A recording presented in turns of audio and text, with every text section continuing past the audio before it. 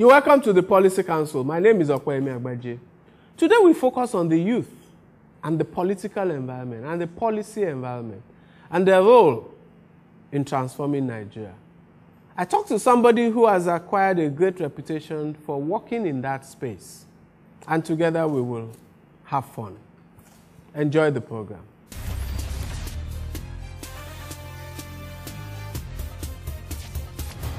You're welcome back to the Policy Council. My guest today is uh, a very powerful and inspirational young lady. Um, she's well known as the CEO of Rise Networks. She founded that organization, and um, she's a, a, recent member of the Victim Support Fund, and she's done many other things. Toyosi Akerele, you're welcome to the Policy Council. Thank you very much. The first day I watched you speak, I was, I'd not, for some strange reason, I must have been living in, in a rock. I had not heard much about you, and then the event was going all gentle and gentle, and then you took the microphone and I wondered what was going on in the room. How do you do that? You see, one of my most favorite quotes, you know, that I've grown to love, you know, over the years would be that passion is an absolutely fundamental requirement for living. Hmm. And that passionless people never live life, actually. Hmm. They, they, they do throw life away. Hmm. Um, and I'm usually not that, you know, passionate or neither do I feel strongly about every subject matter you know that comes my way. Mm. Uh, but I, I, I would think that that particular issue that was you know up for discussion that afternoon must have had something to do with either youth, mm. education, unemployment, mm. or national development. I believe that you know uh, even you know, irrespective of the very debilitating challenges that bedeviled Nigeria as a country my generation will be the turning point generation. And so, when did you make up your mind that you were going to do something like rise networks, mobilize the people? Well, um, um, focus on youth? Well, maybe deliberately at some point in my in my adult life, mm. I made that decision. Mm. Uh, but I guess that it's always been um, what, what, you, what I've grown up to be. I'm a first child of four mm. children. Mm. Um, I'm in primary school. I was a primary school head girl. Mm. You know, the, actually the very first head girl of the primary school I attended. Mm. Um, in secondary school, I was a, a prefect, and in my in my university, I became the youngest. I emerged, you know, the youngest uh, deputy speaker of the University of Jos, of the mm. Students' Union House of Parliament.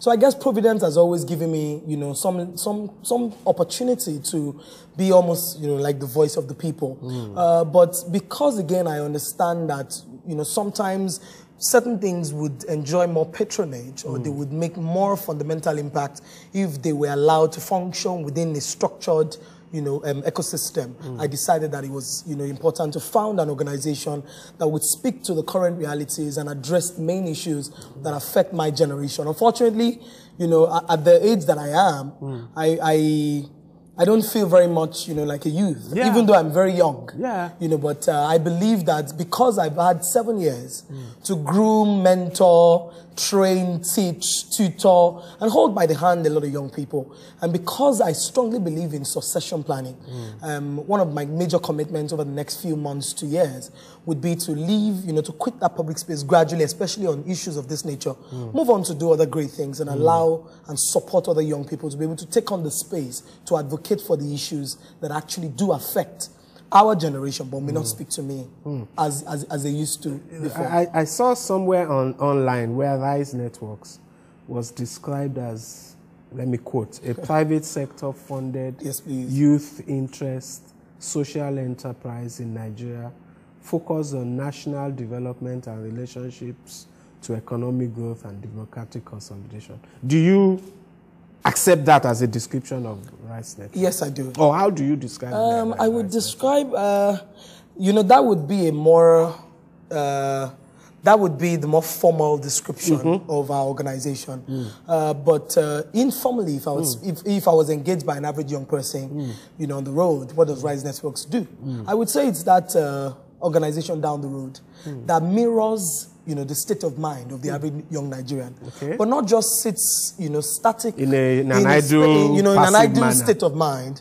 You know, believing that change will come. It's an hmm. organization, we are an organization that believes that we must move our generation from motivation to action. Hmm. And we must move from just talk, because talk has never proven, talk doesn't cook rice. Hmm. And talk has never proven to be enough or adequate And or sufficient. transformed a society. Exactly. I don't see any, uh, any, any developed nation that has, you know, be, been transformed or experienced any level of rapid development as a result of, you know, talk and uh, conversations and all of that. I mm. believe, you know, developed nations would be product of very deliberate action, mm. you know, of the most productive generation actually. Mm. And so our work majorly ties and leans a lot towards, you know, harnessing the potential of, an, of a generation. But if while we're aware that it will be tough to engage the over 60 something million, you know, young people across Nigeria, what we've also done is to, you know, look at the main issues and hmm. narrow down certain areas that we believe if we can tackle and engage stakeholders in a way that they're compelled as a result of these consistent conversations hmm. and, you know, action, you know, moves to be able to consist, you know, consistently make, you know, investments in the successor generation. Okay, let's take a short time out. We'll be right back.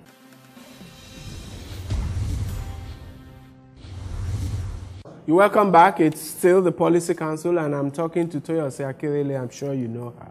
Uh, so, Toyose, I, I just want to know what you see that alarms you about the state of the country. Uh, I'm, I was born, bred, and buttered, if you like, uh, in Nigeria. I'm a fervent believer in the Nigerian project. I am a product of Nigeria. I, I'm, until I finished my tertiary education at the University of Jos, um, You read law. yeah, I studied civil law. Everything that I'd ever done was right here in Nigeria. It's a country that produced me and has blessed me, despite the very, you know, the several challenges that young people every day, you know, tend to complain about. But over the last few years, um, it would be tomfoolery or what you call foolhardy to stay in a state of denial and pretend as though we're not conversant or familiar with the way things continue to deteriorate. Uh, especially with the in the you know in the the quality of governance, the accountability of the people that we've empowered with our votes to run for office and go on there to serve the people. Um, the level of insecurity, um, you know, the quality of education and how things have become a bit more abysmal and they continue to dwindle. And, but you see, my faith is renewed on a daily basis. So I, while I am familiar with these challenges, I would rather not stay um, Respondent. almost despondent because all of these things are happening. Hmm. Unfo- well, fortunately, I don't have anywhere to go. Hmm. And so what I would rather do is to sit down and not, you know, stop, stop my fingers hmm. and begin to focus on the solution. What I want Nigerians to do is to take ownership of our challenges as much as we take ownership of our conquests. Because every time something good happens for our country, we are all quick to say, oh, well, the Super Eagles just won the Cup of Nations. Oh, our president is speaking at the African Union or the United Nations. Oh, Chimamanda just wrote a great book. Oh, this person, Diban, just made us proud at the MTV Base Awards. When bad things come, we push it and say that it's the government. Now, the government is the product of the society. And a society where people are not empowered with adequate knowledge to be able to call the, to be able to demand a certain level of mandatory accountability from the government, then there's a problem. Hmm. But I don't even think that the problem, the problem is not the problem. Our hmm. attitude to the problem is the problem. Hmm.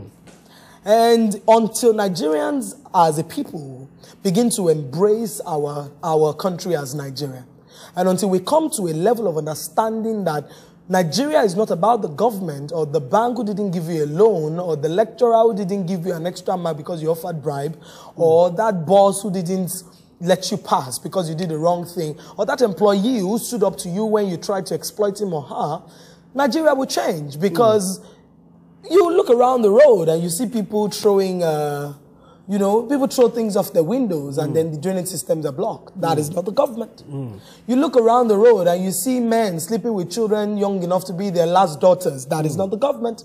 Those are the people who are menaces to society. And the quality of those in, individual values is collectively what makes us Nigerians. And until our approach is a bit more progressive, we would not experience that level of wholesome development that we desire as a country. Now, I understand that we have the, the, the vested constitutional powers of leadership are in the government mm. at every level. And this, for me, is an opportunity to also call on the federal, state, and local government, all the people who are representative of us, of the people at these levels, to know that one day the poor will have nothing to eat but the rich. Hmm. And that it don't, it's only a matter of time. If you get away with something today, I, I mean, I know ex governors who are perpetually going to stay in a state of fear, in a state of pandemonium. Hmm. So, as Nigerians, we have a responsibility. To as demand. the government, as to demand. Hmm. But not just to demand, to play a part. And- And, and as the part. government, the government owes us to be accountable. Because you can rig elections, hmm. but you can't rig the truth. You will come back, you know, I keep saying that all these politicians, all these politicians who assume that, you know, you would steal. Why- I, I mean, I know that a, a few of our people suffer what you call selective amnesia, so we forget. But I like the, wa- the, the way our generation is engaging politics and engaging, you know, you know, engaging government these days because I guess we're in a state of, the, you know, we're tired. Hmm. We've reached that point where enough is enough. Hmm. And I'm scared that, you know, we don't want Nigeria to go up in fire because, you know, the country, the people, the masses are tired. The politicians won't back down and hmm. robbing us, you know, robbing and raping us. And I'm afraid that where that head-on collision would happen, what the ultimate result would be.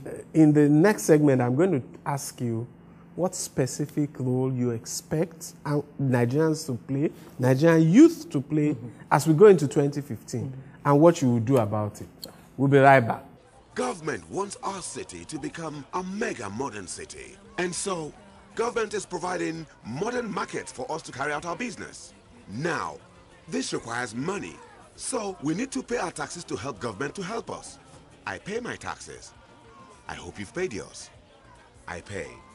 Pay your tax. It's your civic responsibility. It's your duty. It's the law.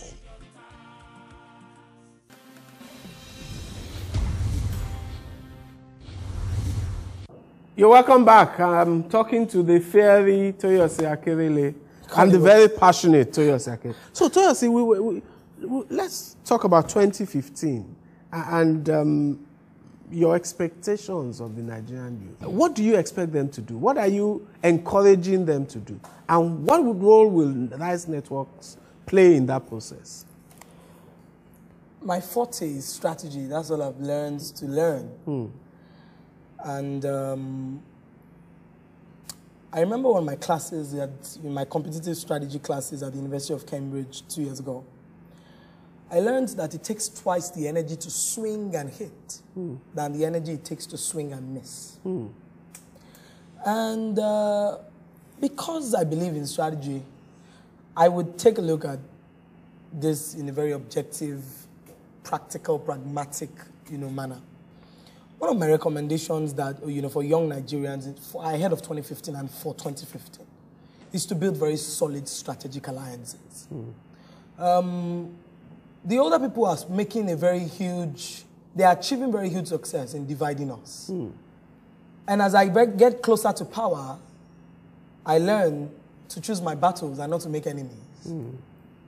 While I understand that it will be tough for me to be in the good books of everyone, I would make effort to make a positive impression hmm. on everyone. My reason, all these old people who have led us over the years, Uncle Opeyemi, they are all friends. Nobody can tell me that APC and PDP are enemies. Mm. In, on TV, on Twitter, on Facebook, they are, they are, they are, Enemies. they are, they are seeming, fighting. you know, they're seeming at a table where they cannot seem to come to a compromise. Mm. Behind the clouds, all of them are friends. Mm. All of them are friends. Why would the young people then be divided? You know, do we want this house to fall against itself? And I think that it's, it's high time Nigerian young people began to run for public office. You know, I and I'm glad that President Jonathan the other day advocated that you know we should reduce the age limit for presidents, presidential candidates to the age of 40. I'd like to see smart young people like Uncle Fela Durotoye, you know, like yourself, and a few other very intelligent, well-meaning, well-spirited Nigerians come out to run for office because we're ready to put our monies on it. Now, two things. Nigerian young people need, need to begin to run for office. Mm-hmm. Nigerian young people need to begin to build, create wealth. Hmm. There is no generation that was dependent that achieved any relevant change hmm. in history. Hmm. People don't win Nobel prizes for being the highest, for being able to do to fundraise. People win Nobel prizes for creating. Hmm. People win Nobel prizes for innovating. Hmm. People win Nobel prizes for setting up. Hmm. People win Nobel prizes for conceptualizing. People win Nobel prizes for being for the ability to be able to move something from ideation to creation. And so we must move the, we must, you know, get to a point in our nation where young people take the responsibility of leadership. And nobody's going to give this power to us. We're going to take it. Hmm. And we're not going to take it by revolution or bloodbath or by force. We're going to take it by strategy. Hmm. And so I have a few friends who have joined political parties and people are abusing them. Oh, they've joined them. I say no.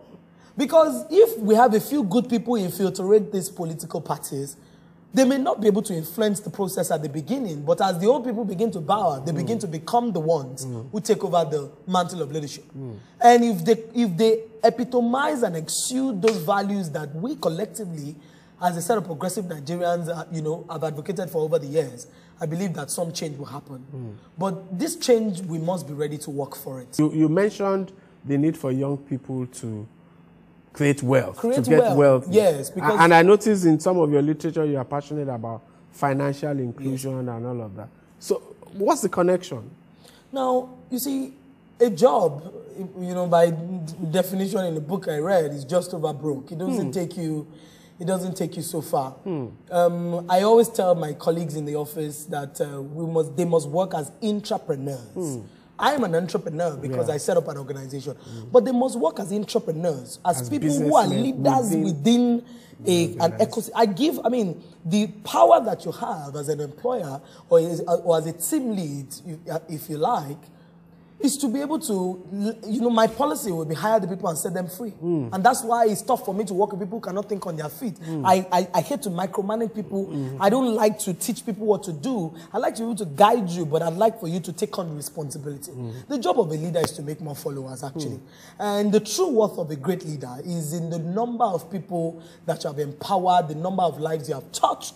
Well, not just touched, but being able to move them from level A to level B.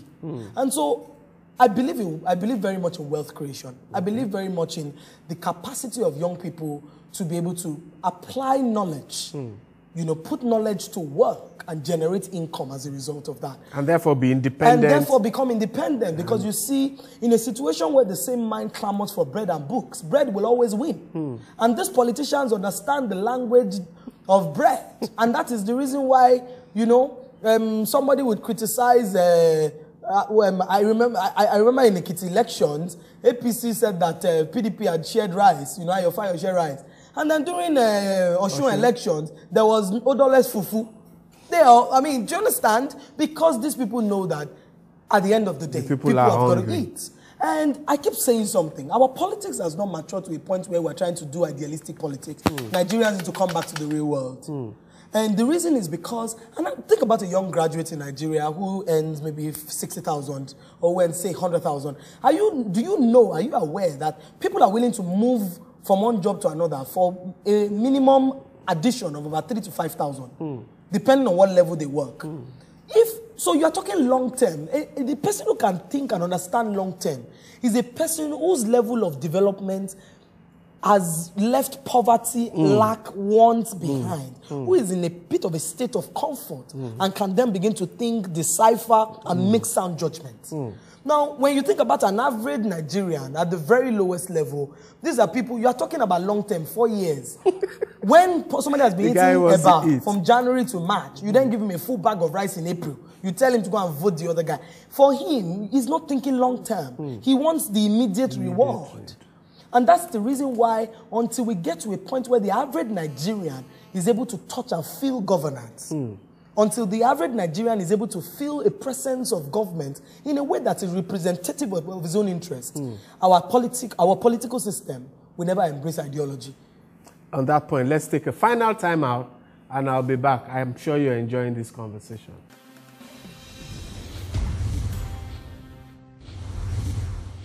You welcome back to my final segment with Toyosi Akerele of Rise Networks. You have this event that is um, imminent, um, the United Nations International Youth Day. and I see that you have governors and you have Ministers, and ministers and people like people. Mrs. Alakija and Jimi Agbaje. What's the idea? Um, so the theme for this year of the United Nations International Youth Day is uh, youth and mental health. And I guess that the UN had Nigeria in mind when they chose that topic because it's almost um, the state of psychology, the psychological disorder that Nigerian young people are going through at the moment is incredible. Uh, unemployment. So a young person hasn't eaten all day. Um, it affects his mental state of mind. A young person graduated five years ago, has no job, he, and he sees his mates who were bottom of the class, you know, rolling in money and driving Maybe a counselor. You know, you know what I mean? Or maybe a militant. you know, it affects his mental state of mind. Mm. Um, and I mean, several issues. Boko Haram, people Mm. are losing. Bring, you know, Chibok girls, please. You know, bring back our girls, Mm. please. Bring back our girls now and alive. Because I'm even, I'm worried too. So, I mean, it's, there's several issues that are affecting Nigerian young people these days. And we, we just thought it was significant at this time to uh, hold, to set up an intergenerational dialogue. Okay. I've met a few very progressive politicians actually, so I wouldn't all, I wouldn't condemn all of them to abyss. You know, I've met a few very um, progressive leaders in private sector as well. And I approached a few of them, a few governors, a few ministers, especially the Minister of Labour, who is in charge of job creation, and a few others, you know, successful entrepreneurs, activists, lawyers, you know, civil society, to be able to ask them and say, um, where did you go wrong? Where did your generation go wrong? And what lessons can we take away from your own generation so that we don't replicate the mistakes?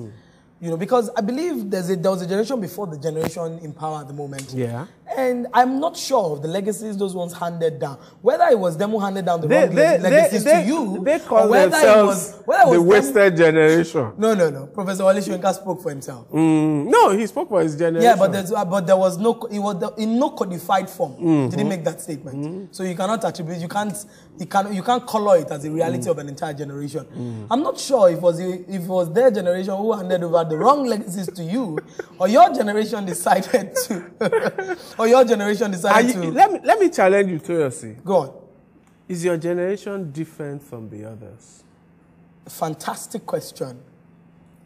Our generation may not be different, but we can be different. Okay. We may not be different because somebody's got to convince me why I should not be corrupt in this country. Hmm. Because our reward system is fundamentally flawed. Hmm. It's a country where somebody steals money and you give the person a chieftaincy title. Somebody sleeps with another person's child and flies private jets with teenage children, sleeping with them. Children is supposed to be providing free education for, and you reward them with a doctorate degree. And you see tons of people turn out in that event to celebrate a common criminal. That is the word, that is the reward system that I'm watching as a young person. Yeah. The guys who worked hard for this country, the man who designed the Nigerian flag in this country, Died in Pa penury. Akinkunmi, died in penury in Ibadan. And there's tons of heroes in this country that we never reward. Now, I will not steal because my personal values will not allow me to do so. Yeah. But for a young person who is who is still in that state less, of, uh, you know, um, who is less clear about his own life's purpose and vision, He's looking at these people. We are watching TV every day we're seeing people live in such affluence in a country where you are telling us there's no money. Hmm, Our generation can be different Okay. if your generation makes a deliberate attempt to make a detour from the way you are going. you people are the ones who talk about billions and trillions, but we never see those things happen. You know, we never see. life. we- You read about them in you know, budgets. I, I want to touch it. I want to feel it. Let, so let yes, me, let me, we will, we you will be different. and we will help you, my generation. Let me ask you a final question. Um, the Victim Support Fund. That's right. Do you think it will work? in terms of reaching the true victims of Boko Haram in Gwoza, in all those villages of Yobe, in all those villages of Adamawa and Borno State, those people whose husbands have been killed by Boko Haram, those orphans whose parents have been killed. Let me, one of the one of the most brilliant decisions and brilliant and timely decisions that President Jonathan has ever made Hmm. is the you know um, setting up of this victim support fund. Um, yes, I think it will work. As a young person, one of my my commit one of my underlying goals and objectives of being, you know, after I, I was inaugurated, into that committee, that I set for myself is to say this committee will not go the way of other previous committees. Hmm. You see, the day that I set up, the day that I put up that information on my personal Facebook page on Twitter, that that uh, I joined the committee, I thought Nigerians would come to come at me with such backlash. I had a few people who were not very impressed, who, had, who felt I become political because I joined. But I was impressed by the benevolence of Nigerians, even people offering me support in terms of, "Chua, what can we help you do? And th- for me, that's a, it is a call to action. I should be considered a failure if one, my impact and my voice becomes, you know, it does not come to the fore on the issue of this victim, not just the fund, but advocating for the, The rehabilitation victims. and support of the victims. Number two, I should be considered a failure if I begin to see that this committee will go as one of those wishy-washy committees that did not do anything, and I hmm. refuse to resign. Hmm. The moment I notice, but I'm confident the committee will work, and I'll tell you why. The leadership of the committee is cap, is competent. The leadership and the capacity in hmm. General T.Y. Danjuma and my deputy chairman, Mr. Fola Adeola, I believe that if you know, we, we put all hands on deck on that committee, and we are committed Nigerians that would not just sit on the fence to criticize, but would actually move from armchair critics to real mm. advocates, you know, of development. I want to believe that we, we plan. I know that the internal plans, some of our plans will be to you know, focus on healthcare, resettlement of people who lost their homes, replacement of you know, certain personal effects and property of certain people who lost certain things, mm-hmm. and also education. Because, for example, to, as of today, there are over 500,000 children mm. from the northeast part of Nigeria who, have, who are out of school as a result of this crisis. Mm-hmm. And one of our, you know, some of the recommendations that I'll make the, to the committee would be that we need to resettle those children in other more stable portions of Nigeria so that they can continue their education. And there are over 100,000 Nigerians who are, you know, who, are, who have run away to Cameroon. We need to bring them back to come home. And for 2015, we need to make sure that those people are not disenfranchised. Absolutely. By we'll be no right means. back.